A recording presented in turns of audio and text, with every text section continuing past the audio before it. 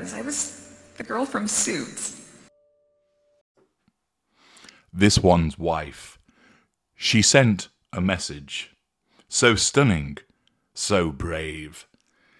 Yes, the living saint continues to wow and amaze us with her brilliant and fascinating behaviours. She sent a message. We don't know if it was in a bottle, as Sting once sang about. We don't know if it was tied to the leg of a pigeon. We don't know if the message was wrapped round a brick and thrown through somebody's window. But we are told that a message was sent. Yes, this is clearly earth shattering news which deserves to be spoken about and to be broadcast around the world. And who better, of course, than People.com to be the carrier of this message about the message? Another puff piece generated in this PR churning publication on behalf of this one's wife, ensuring that the facade is managed, ensuring that you have your daily diet of dross about this one's wife, that she fills up your news feed, that your ears start to bleed with the banality of her life, the emptiness of her activity, the repeated quest for fuel, as her levels of self absorption shatter all self absorption monitors around the world. This time, Janine Henni writes in The People, this one's wife sends message to, drumroll please, Kelly Clarkson, for it is she. But she didn't send it directly. Oh no. That would be beneath her. She used a conduit. She sent it via a Suits co star. And, get this, she also reveals that she voted for Kelly Clarkson on American Idol. There is no end to the Duchess of Industrial Beige's talents. It's utterly staggering just how radiantly talented she is. She walks, she talks, she applies bronzer, she utilizes a rictus grin, and now, unlike any other person in the history of ever, she dispenses a message through somebody else. Fantastic. People.com. Enlighten us further. This one's wife sent Kelly Clarkson a special message through her friend, Abigail Spencer. Well, shit the bed. You know, it reads like something that would occur in a primary school playground. Miss? Miss? What is it? Tina said through Jennifer that I smell. I don't smell, miss, do I? No. Chardonnay, you don't smell.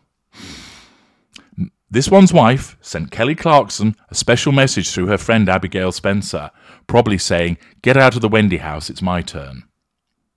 On Monday, Spencer, 42, appeared on the Kelly Clarkson show with her extended family co star Donald Faison, where she revealed that the Duchess of Sussex is a fan of the singer. Well, that's good to know, and very important reporting. This one's wife says hello and that she loves you, and that she voted for you on American Idol, she told the host. It worked, Clarkson joked, referring to her big break as the season one winner of the singing competition in 2002. Well done, this one's wife. You've dragged up something from 22 years ago. Hmm.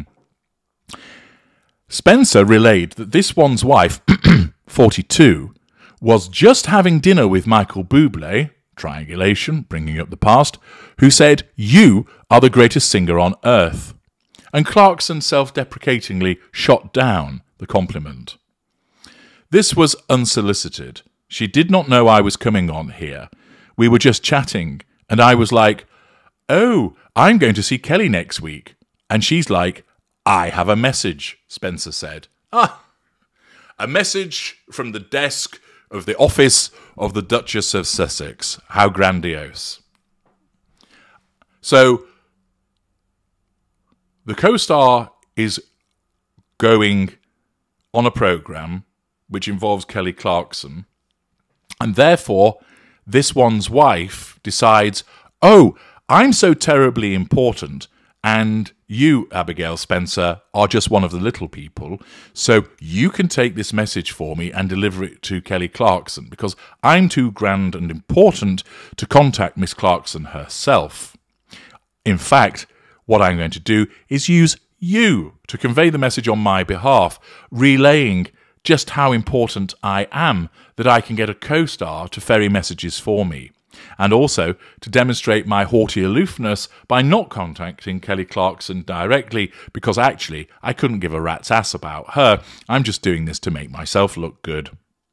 Accordingly, this one's wife grandiosely passes a message with Abigail Spencer to take to Kelly Clarkson. We're then told in this riveting piece of information that Spencer and This One's Wife starred together on Suits during its original run on USA Network starting in 2011. This One's Wife stepped back from the legal drama shortly after she and Prince Harry announced their engagement in November 2017.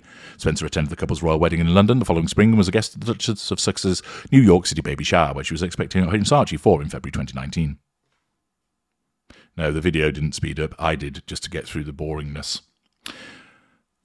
This one's wife and Prince Harry, 39, later relocated to her home state of California after stepping back from the Royal Royals in 2020, and Spencer joined this one's wife at Prince Harry's polo match at the Santa Barbara Polo and Racket Club in May 2022. Spencer got talking about the Duchess of Sussex after Faison spoke about his long-time friendship with Zach Braff, after Clarkson asked if she had someone like that in the industry. It was 2007. I was doing a pilot for NBC, and I went to read with the people who were supposed to play my best friend. They were testing other actresses, Spencer said. I walk in. I see this beautiful, gorgeous creature at the end of the table, and I'm like, who is that? We had an immediate something, you know, and her name is this one's wife.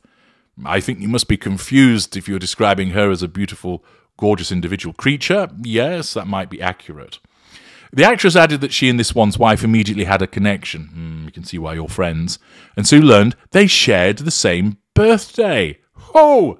Zippity doo It was just something between us, Spencer said, fondly recalling how they crossed paths again when cast together on Suits. In case you didn't know this, the future Duchess of Sussex played paralegal Rachel Zane, while Spencer appeared as Dana Scott, the rival and love interest of Harvey Specter. Our friendship really developed during that time and deepened. She's an incredible person, Spencer told Clarkson of this one's wife. It then goes on telling us more about suits that we already know. But there we are. Another instance of how this one's wife needs to keep herself in the news, this time as a consequence of passing a message on through a co star that enables her to blather on about how wonderful this one's wife is. I should imagine that this one's wife didn't even vote for Kelly Clarkson, it's just a revision of history. And this, of course, is being done in order to manage the facade. Oh, I'm a really nice person. I took the time to vote for Kelly Clarkson. And I'm pretty cool because I watched American Idol as well.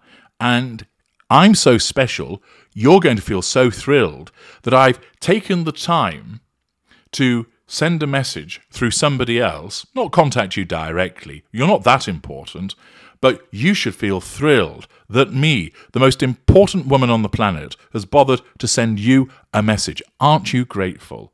In fact, you probably want to take the segment of your show and ensure that it's on a continual loop where it's mentioned about my message. That's how important I am. This is the dross that's associated with this one's wife. No major achievements, no stunning revelations, nothing interesting about what she's actually done, but simply she believes that the world ought to know about the fact that she sent another woman a message through another woman, and the world really needs to know all about that. You can just see how self absorbed this woman truly is. I'm H.G. Tudor. Thank you for listening.